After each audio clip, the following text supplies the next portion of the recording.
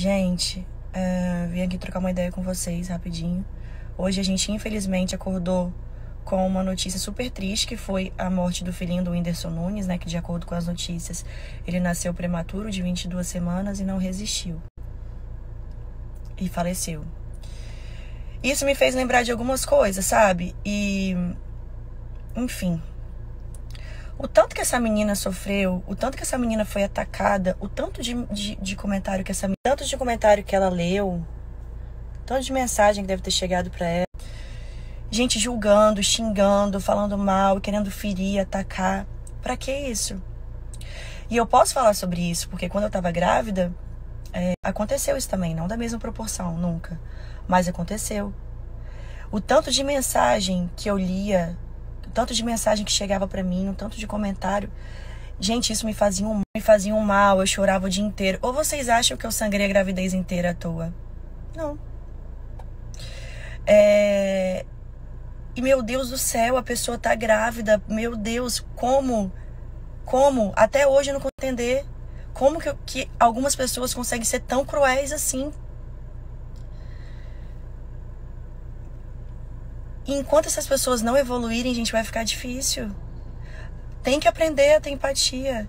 Tem que se colocar no lugar do outro. Se não tem nada para fazer, inventa alguma coisa para fazer.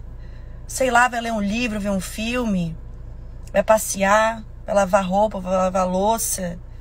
Entendeu? Mas não faz isso. Pra quê? Enfim, essa notícia me deixou bem triste e me fez lembrar algumas situações que eu também passei na gravidez. Hum...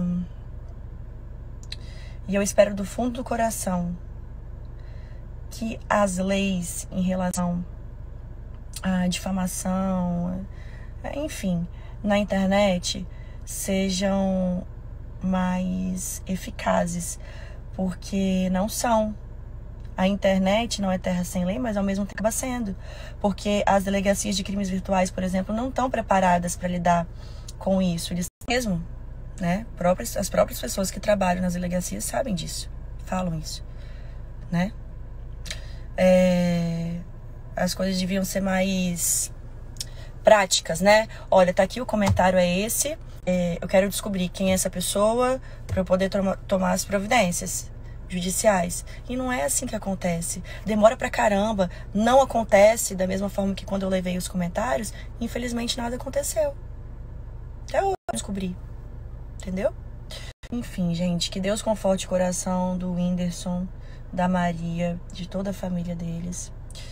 Que e que essas pessoas cruéis evoluam e que também as leis sejam mais eficazes aqui na internet.